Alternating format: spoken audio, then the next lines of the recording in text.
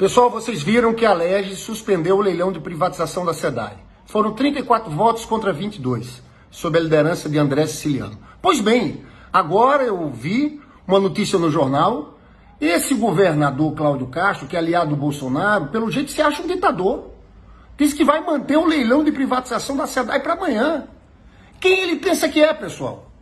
Foi aprovado na LEGE. Olha, Cláudio Castro, isso aí você vai acabar sofrendo impeachment, porque o nome disso é crime de responsabilidade.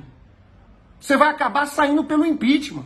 Eu acho que é importante, pessoal, todo mundo entrar na justiça, continuar a mobilização. A gente tem que enfrentar esse governador. A gente sabe o que é que significa a privatização da água, pessoal.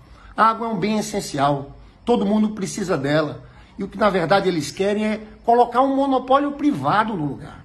As pessoas vão ficar reféns. Eles vão cobrar o que querem vão cortar água na hora que querem.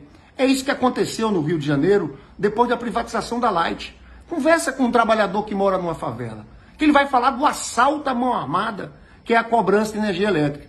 Então vamos em frente, derrubar esse ato autoritário desse governador. Vamos continuar a luta e vamos impedir a privatização da SEDAI.